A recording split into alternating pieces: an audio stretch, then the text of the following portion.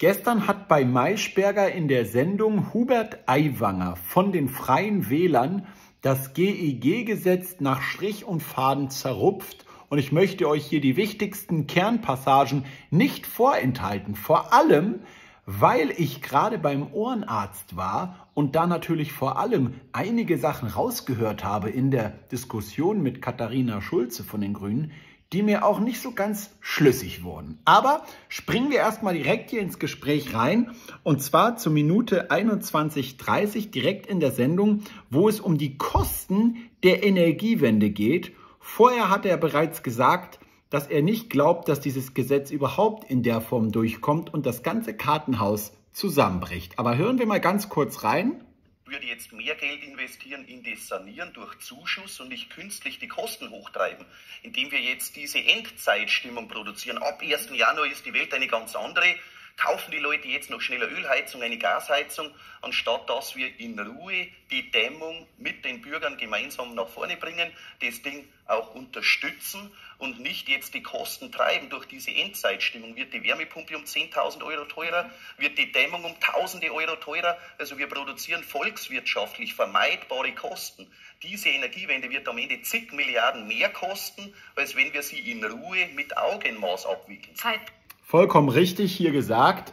Genau wie man ja damals eben Hals über Kopf eben aus der Kernenergie raus wollte. Man hat ja damals dieses Ereignis gehabt mit Fukushima, was man dann einfach gesagt hat, okay, jetzt müssen wir Hals über Kopf ohne Plan B die Kernkraftwerke runterfahren und so weiter.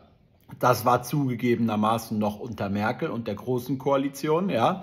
Aber äh, in ähnlicher Manier wird jetzt eben hier verfahren und er sagt ganz normal, klar, wenn ich jetzt das Ganze auf einige wenige Anbieter und äh, Möglichkeiten beschränke, wie eben zum Beispiel die Wärmepumpe, dann wird was passieren? Dann werden natürlich die Kosten dessen massiv steigen und die ganzen Unternehmen reiben sich natürlich die Hände, die daran jetzt erstmal richtig viel Geld verdienen. Schauen wir mal kurz, was Katharina Schulze darauf antwortet.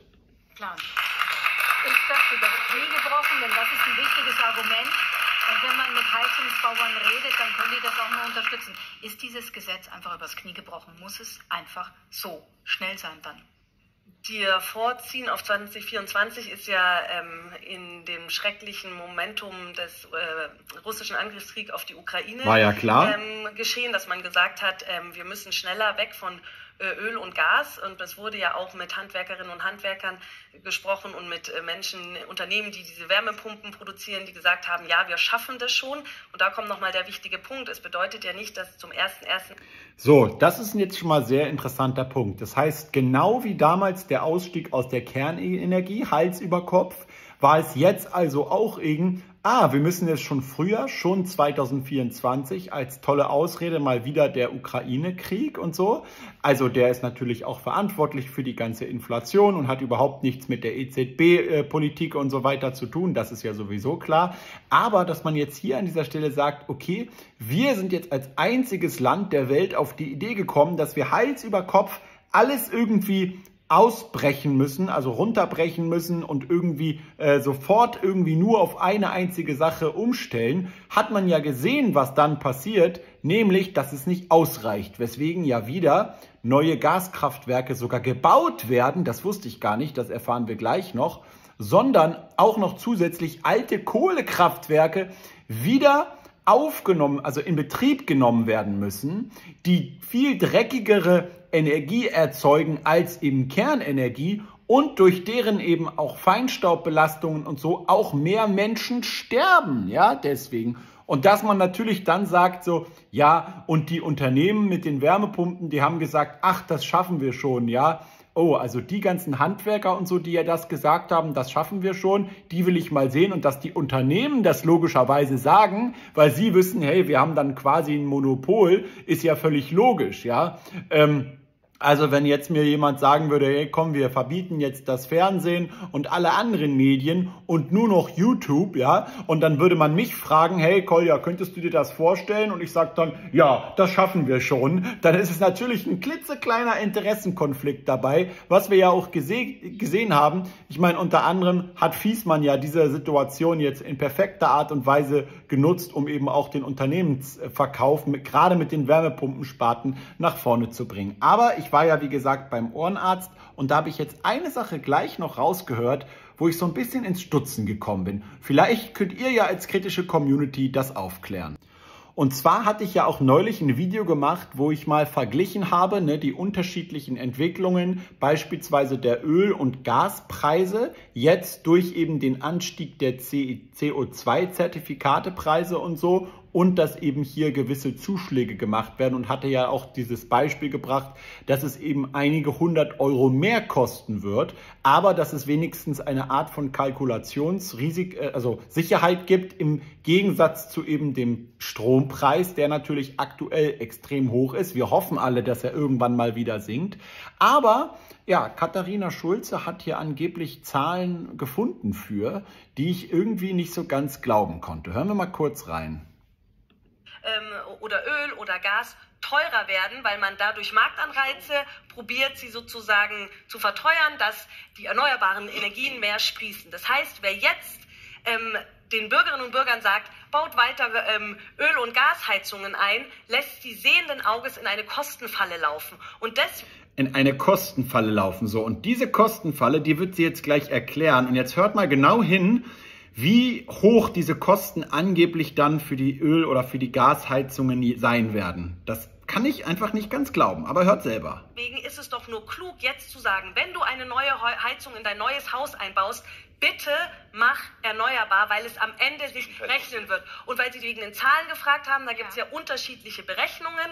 Ich habe jetzt noch eine Zahl im Kopf, dass ich gelesen hatte, ein Einfamilienhaus wird rund 23.000 Euro dann mehr kosten ähm, im Jahr. Wie, wie, wie Moment mal, Moment mal, Moment mal. Also sie hatte das gelesen als Mitglied der Bundesregierung. Hat sie das irgendwo gelesen? Wo hat sie das denn gelesen? Ja, ich dachte, dass man das irgendwie ein bisschen besser alles prüft, bevor man solche Gesetze macht. Aber sei es drum, ja, wir schauen jetzt einfach mal 23.000 Euro mehr Kosten pro Jahr mit einer Gasheizung statt mit einer Wärmepumpe, ich kann das einfach nicht glauben. Und jetzt habe ich das Ganze mal gegoogelt, ja, 23.000 Euro. Vielleicht finde ich ja den Artikel, wo Katharina Schulze das gefunden und gelesen hat mit diesen Mehrkosten. Und jetzt bin ich ganz interessant auf ein paar Dinge gestoßen, nämlich hier bis zu 23.000 Euro Mehrkosten pro Jahr. Aha, da haben wir ja den Artikel vielleicht. Aber dieser ist schon etwas älter und der hat überhaupt nichts mit der Wärmepumpe oder mit irgendwelchen Gasheizungen zu tun, sondern mit dem Bauzins. Und wenn der Bauzins steigt, logischerweise, dann wird alles teurer. Nicht nur das Bauen, sondern natürlich auch die Finanzierungen und die Kredite und so. Also das kann es ja nicht gewesen sein. Und dann bin ich noch ein bisschen weiter runtergekommen. Ja, hier ging es dann wieder auch um Immobilienpreise und so. Und jetzt habe ich hier noch was anderes, nämlich Gasverbrauch im Einfamilienhaus. Und dann dachte ich mir, aha, vielleicht ist da hier ähm, das zu finden und habe gelesen, aha, der durchschnittliche Verbrauch eines Einfamilienhauses beträgt 23 Kilowattstunden Gas jährlich. Ja? Meint sie etwa die 23.000 Kilowattstunden jährlich im Jahr? Aber das heißt ja nicht, dass das die 23.000 Euro im Jahr sind, oder? Also das sind ungefähr ja so ein Einfamilienhaus. Was haben die durchschnittlich für Gaskosten im Jahr? Das sind vielleicht hier 2000, 3000 Euro oder so. Aber ich kann partout nicht diese 23.000 Euro Mehrkosten pro Jahr herausfinden. Aber Katharina Schulze hat das halt irgendwo gelesen und sie wird schon wissen, was das ist. Ne? Also vielleicht liege ich hier auch komplett falsch und bin auf dem falschen Dampfer. Bitte klärt mich auf. Aber ganz interessant fand ich dann auch noch hier, was ähm, ja, der Herr Aiwanger über die Gaskraftwerke gesagt hat, denn das wusste ich bisher nicht. Hören wir noch mal kurz rein, ja. Wie eine Wärmepumpe, kommt natürlich auch wieder aufs Haus an, wie ist das gedämmt, ist es mehrstöckig und so weiter und so fort. Aber was alle Experten... Ja, also was wir ja wissen über die Dämmung, dass diese erstmal natürlich sehr viel mehr kostet, dass viele auch ältere Häuser wunderbar mit einer Öl- und einer Gasheizung funktionieren, auch noch ohne die direkte neue Dämmung.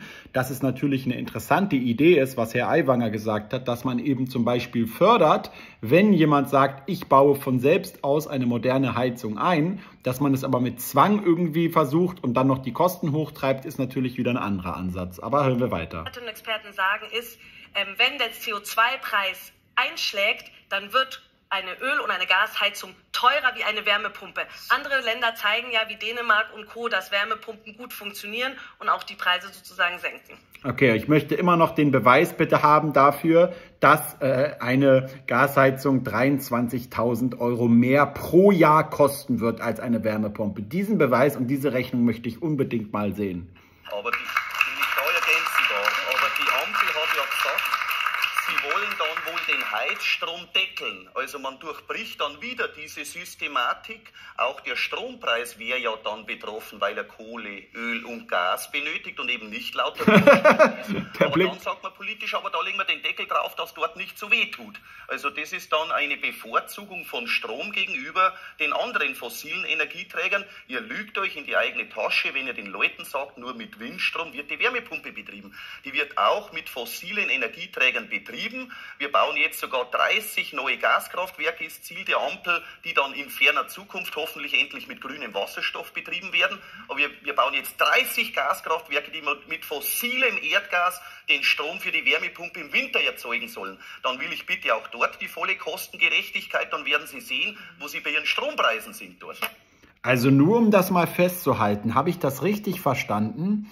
Wir schalten perfekt funktionierende und bereits lange abgeschriebene, also quasi kostenfreie, nur in, der, in dem Unterhalt noch kostende Kernkraftwerke ab, die sauberen Strom produzieren und natürlich nichts mehr im Bau und so weiter kosten.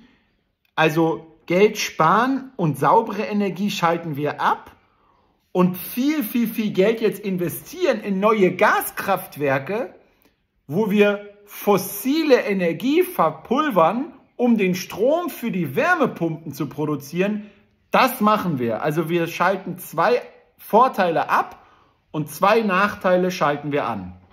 Äußerst sinnvolle Strategie. Aber das Video ist noch nicht ganz zu Ende, Leute, weil jetzt kann es auch die Frau Maischberger kaum glauben, und möchte dem Herr, Herrn Eichwanger schon so ein bisschen äh, in die Richtung des, ähm, ja, Eiwanger meine ich, in die Richtung des Kabaretts bringen, weil er nämlich angeblich äh, ja gesagt hat, dass Folgendes äh, passieren wird. Aber hören wir rein, ich will es nicht spoilern. Bei Ihnen, wenn ich einmal einhaken darf, Herr Eiwanger, ich weiß immer, also es gibt Sachen, die Sie sagen, die machen total Sinn und dann gibt es Sachen, die Sie sagen, wo ich nicht weiß, ob das sozusagen dann schon Kabarett ist. Sie haben einmal gesagt zum Beispiel, dass, ähm, weil man beim Strom bleibt, also wenn jetzt alle die Wärmepumpe einbauen, dann werden wir irgendwann zu wenig Strom haben, um die alle dann zu versorgen. Und dann haben Sie gesagt, dann wird Folgendes passieren. In Berlin werden die dann die Wärmepumpen, weil es ja geht, runterregeln in den Häusern. Das heißt, die werden in Berlin bestimmen, wie warm es bei mir zu Hause sein darf, weil, weil dann der Strom nicht mehr für alle reicht. Meinen Sie das ernst? Natürlich. Naja, was heißt, meinen Sie das ernst? Das ist die eine Lösung, wenn es nicht genug Strom halt gibt und wenn die Netze überlasten. Ja, oder eben die andere Lösung, dass man sagt, okay, es gibt halt einfach manche Tageszeiten, meistens leider dann genau zu den Stoßzeiten, also morgens und abends, wenn das, der meiste Strom zum Beispiel zu Hause verbraucht wird, wo man dann sagt, ja, da werden wir dann halt bei Ihnen in der Region mal für eine Stunde halt abschalten müssen, damit die Netze nicht äh, überlasten. Das kommt natürlich nicht einfach nur von ihm, sondern auch von den, äh, ja, sogar, war das nicht sogar von der Bundesnetzagentur und so weiter, die das gesagt haben? Natürlich, und die Pläne sind ja da, das wird ja ganz offen diskutiert, dass man mit Fernablesung sieht, wie warm es in deiner Heizung ist und dass die Stromversorger deinen, deinen Pufferspeicher nutzen sollen, was ja zunächst mal begrüßenswert ist, dass sich Überschussstrom dann nutzt Da ziehen sie alle lange Gesichter auf einmal. Besitzers hochzutreiben und dort zu sagen, jetzt haben wir zu viel Strom. Also Sie Ja, glauben, genau. da wird jemand in und Berlin dann sitzen und Ihre Heizung dann zentral runterregeln, weil, sie, weil er glaubt, er muss jetzt weniger Strom Am Ende wird es der Verteilnetzbetreiber tun im Auftrag des Bundes. Es ist ja jetzt das Gesetz, dass Okay. hier der Verteilnetzbetreiber am Ende abregeln muss oder soll, ohne den Bürger zu fragen. Bisher gibt es das ja nur, wenn er vorhin einen Genau. Vertrag zugesichert hat, du darfst mir den Strom Habe ich auch ein Video nicht, gemacht, über die Rationierung. Tarif. Und jetzt dürfen dann die Verteilnetzbetreiber deinen Strom zurückdrehen und sagen, der kriegt jetzt rationiert Strom, weil er sonst im Netz nicht reicht.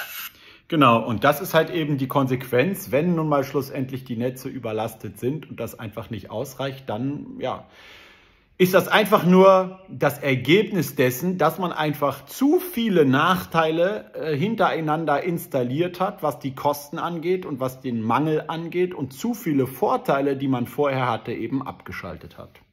Herzlichen Glückwunsch.